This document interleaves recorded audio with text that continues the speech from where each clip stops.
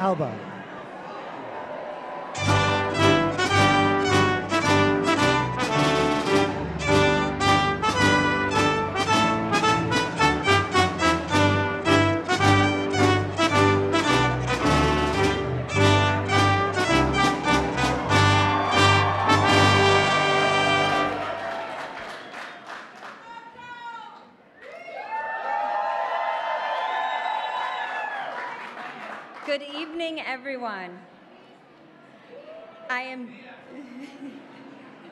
I am deeply honored to celebrate Hispanic Heritage Month here at the White House. Standing here makes me think of the giants whose shoulders I stand on, my ancestors, mi familia, whose strength and resilience flow through me today. My great grandparents, Daniel and Guadalupe, and Catalino and Francisca, were part of a wave of Mexican immigrants recruited to the US in the early 1900s. They were young with little to their names, but had determination in their hearts. They worked on the railroads and in the fields, saving every penny, striving for a better life, not just for themselves, but for generations to come. They never stopped believing in the future they dreamed of. My abuelos, Isabel and Jose Alba, grew up in a world marked by segregation. They labored in the citrus groves and cotton fields, forced to use segregated water fountains and attend Mexican schools that offered half days and half chances. But despite the barriers, they never let go of their dreams. Jose believed in the power of education and made it to a private men's college, while my grandmother, with grace and sacrifice, raised five children. Jose's perseverance eventually secured him a white collar job as an accountant, transforming the future for his family. That legacy of hard work and unwavering hope is something I carry with me every day. Through my, though my own journey was not without struggle. My parents, Mark and Kathy Alba, were just 19 and 20 years old when they had me. Living paycheck to paycheck, I was a sick child, in and out of hospitals, and I came to understand firsthand how deeply our health impacts our lives. My father's military benefits were vital to my care. Years later, when I became a mother at 27, I struggled to find safe products for my baby and family. I channeled my ancestors' drive and resilience to build a company focused on protecting the health of people and the planet.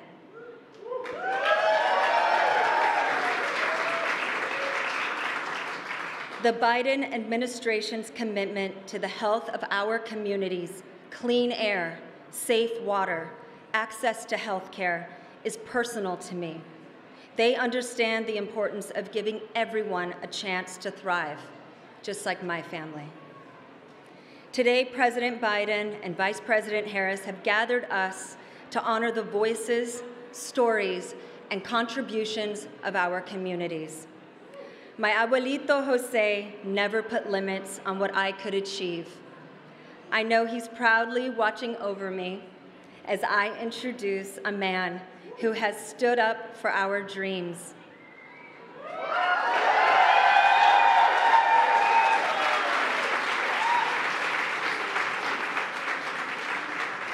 a humble public servant who served with honor and dignity.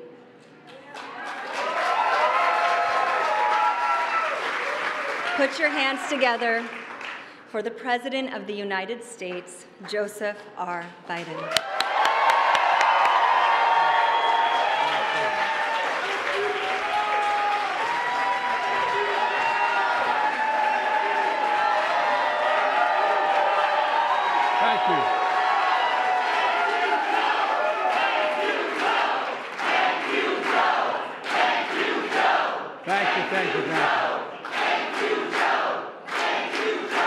Know. I don't know where the hell that Joe is you're talking about. But thank you, thank you, thank you, thank you, folks.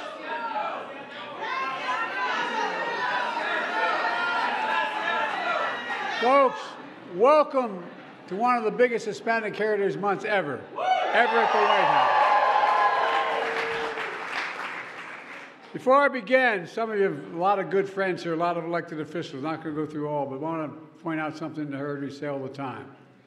One of the things that is changing, and you're going to, ch- the Hispanic community is going to change America even more.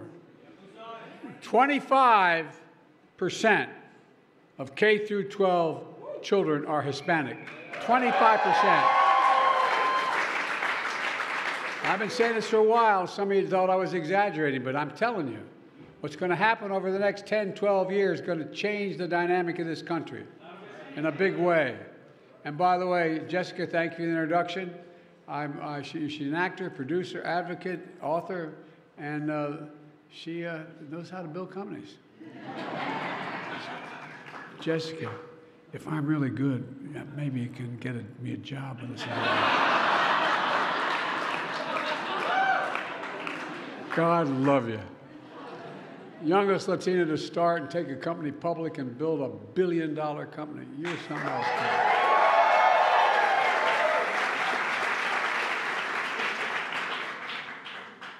Well, folks, uh, you know, uh, you've done it. You've done it literally by trying to make life better and safer for other people, safer and healthy for women and children and families. Not only made a successful company and a billion-dollar company, but you did it for good reason. You did it not just for the profit. You did it for the people you care about, and it matters. It matters. And you've done it by embracing your heritage, a proud Hispanic heritage that I see in all of you here today.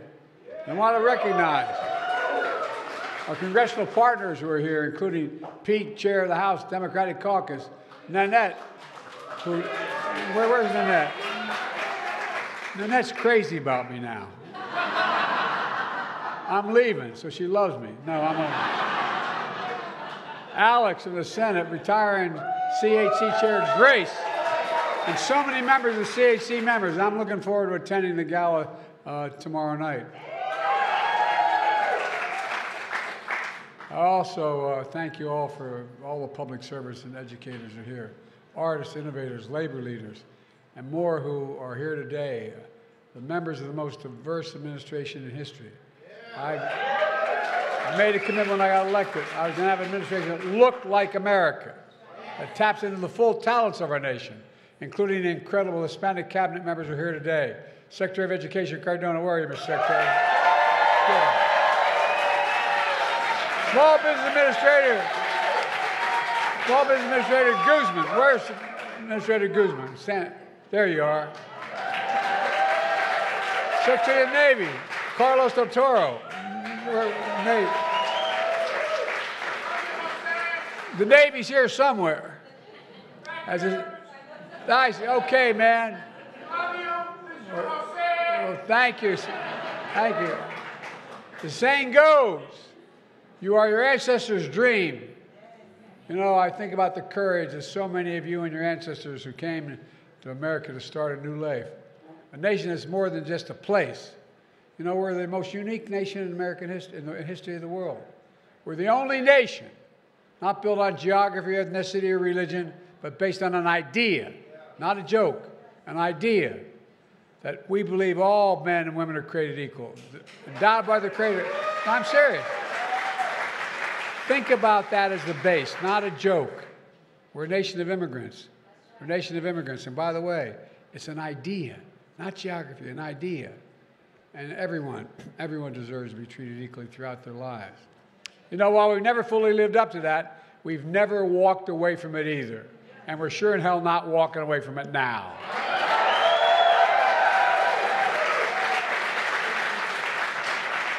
Since our founding, the very idea of America has been nurtured, enriched, and advanced by the contributions and sacrifices and hard work and dreams of immigrants and descendants from all over the world. Like so many of your families, like mine and Jill's families from Ireland and, and, and, and Jill's. I, I, you know, I may be Irish, but I'm not stupid. I married, I married Dominic Giacoppa's daughter. you can say that again, man. No one screws around me. One of the reasons Jill and I really wanted to host today's celebration is to say thank you. Thank you for your partnership and your friendship. And I mean sincerely, we're forever grateful. I mean it from the bottom of my heart. I also want to host this reception because we have, we have progress to celebrate. Together, we're making the most significant investment in the Hispanic community ever in all of American history. We've centered equity, equity in everything we do. With the help of just three and a half years, we've created more than 5 million jobs for Hispanic Americans. The lowest Hispanic unemployment rate on record. We also turned Puerto Rico's economy, investing in more than $140 billion and adding over 100,000 new jobs in Puerto Rico. More Hispanics have health insurance than ever before in history. Record number of Hispanic small business, small businesses are starting up, like your little small business, a billion dollar rover. Historic investments in Hispanic serving institutions. The 500 college, university, and community colleges that serve such a large percentage of Hispanic students. By the way, it's about $15 billion those. Under my plan for student debt relief, more than 5 million people received student debt relief, and it's going to happen where we're going to win in court, signifying a significant number, a, sig- a significant number of Hispanic borrowers. The racial wealth gap, wealth gap is the smallest in 20 years.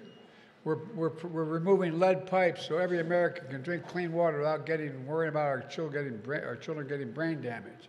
We're delivering high-speed, affordable internet to every American, which is as essential today as when FDR delivered electricity to every American. It's that consequential. We've increased the child care subsidy funding by 50%, providing families peace of mind and still growing the economy. When we do these things, we grow the economy. When parents are able to go out and work and they can make more money, they grow the economy. And it, so it's, it, it's a net savings for America. It really is. Let me be clear.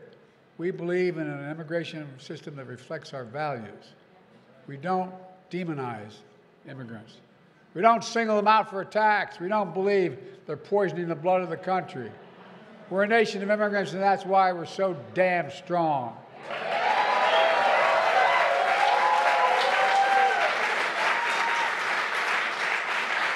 My mother's side of the family are a bunch of Irish immigrants that came over on coffin ships in 1848 and 1850. And guess what? We don't have, we don't know, but if you go back and look, Irish and Irish Catholics were discriminated against as much as any other group of people ever came to this country. But guess what? We're proud as hell of what we've done, and all of you protecting your our fundamental freedoms.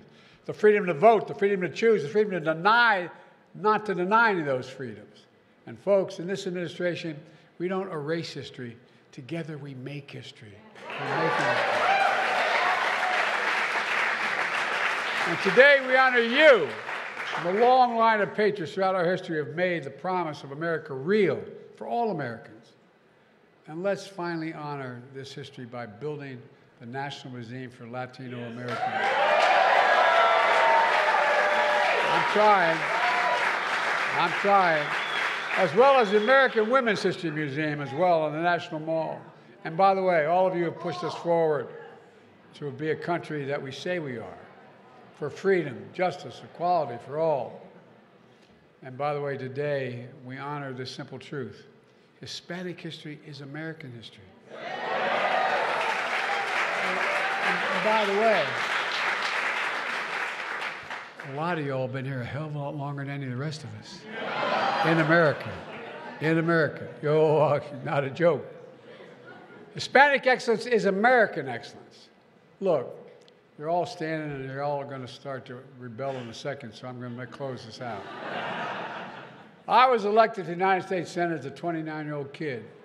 I wasn't old enough to be sworn in. I had to wait 17 days to be eligible. And by the way, I was motivated, not a joke. Many of you have been in my office. I have several busts, one of Cesar Chavez, who came to Delaware to organize the farm workers in Delaware. We, our largest industry, everybody thought it was the DuPont company. It's a $4 billion industry in agriculture and chicken. He came to organize. Here I stand 50 years later as your president, honored to celebrate the heritage of this incredible community. I always thank you. I always said America is defined by one word. I spent an awful lot of time with Xi Jinping, more than any other world leader has. Spent over 90 hours alone with him, literally, traveled 17,000 miles with him. I was on the Himalayan plateau with him, and he asked me, he said, Can you define America for me? Not a joke. Some of you have heard this. It's true. I said, I said, yes, one word. He looked at me through an interpreter. All he said, what's the word? I said, possibilities. Everything's possible in America. Everything is possible in America. It's also the one word that defines Hispanic possibilities, heritage, possibilities. Because you've never, I've never been more optimistic about the future. Just to remember who the hell we are. I really mean it. We're the United States of America.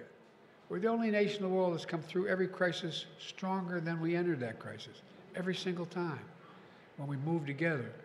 Folks, I mean this from the bottom of my heart. I am more optimistic about the future of America than I've ever been in the world before. We have the strongest economy in the world. We have the best system in the world. We just have to remember who the hell we are. And by the way, it all depends on maintaining our democratic values. So, folks, there's a whole hell of a lot. This is the single most consequential election, maybe the lifetime of anyone standing here, because it matters. The other team doesn't see the world like we see it. They don't have the same attitude we have. They are the most closed minded people that I've ever dealt with. Like I said, I know I only look like I'm 40, but I'm a lot older. I've been here 51 years. Was a senator for 36 years. Vice president. Out four years, we're working as a, the Penn Biden Center. And then back here for four years. Folks, there's nothing we can't do. I really mean it. And I'm so, that's why I'm so happy about Kamala being upbeat about what's happening. So, folks, you're not going to let us down. I have one great regret. There was a significant senator from the state of Texas, Democrat, who looked at me one day and he said, Joe, I think you're going to run for president one day. I said, What the hell? I didn't know what he was talking about. He said, But if you ever want to lead America, you ever want to win in Texas, you got to learn to speak Spanish. True story. I took five years of French in high school and college. Said, You're going to have time now. I do. I am. And by the way, so what happened was, I, uh, I tried to speak French at a, at a, at when I early on in my career in France, and they just laughed at me. I tried to speak. We had the largest influx of Hispanics in 1980 census as any state in the union as a percentage. So I got up, and we have a large community. And I got up and I made a speech in Spanish. I mangled it. And they all cheered and said, Thank you. thank you, thank you, thank you. Appreciate it. And the bad news for you all is I'm not going anywhere. Thank you.